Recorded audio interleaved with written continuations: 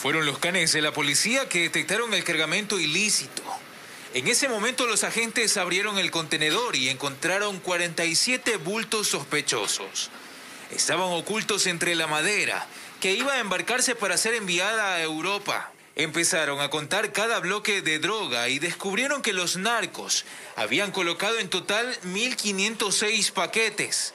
Eso equivale a una tonelada y media de cocaína. Así lo dio a conocer el jefe nacional antinarcóticos. Se encontraron 47 bultos de eh, yute que una vez contabilizados dieron algo así como 1.570 eh, paquetes que pesados eh, dieron un, peso total de una tonelada 500 kilogramos. El contenedor con el cargamento de cocaína iba a salir desde uno de los puertos marítimos de Guayaquil con destino hacia Bélgica.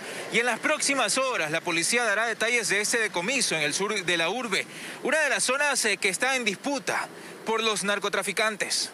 Hasta el momento, en lo que va de ese año, la policía ha decomisado más de nueve toneladas de droga en los puertos marítimos del país